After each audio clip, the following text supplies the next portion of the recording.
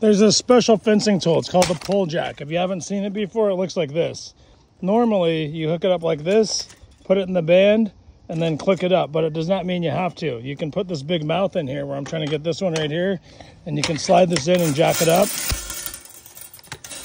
And it does the same thing right there. So now I can put a bolt in here, stretches my fence up, and I can just put a nut on that. That's a really great tool, and you can use it both ways. Puljak, P-U-L J A K.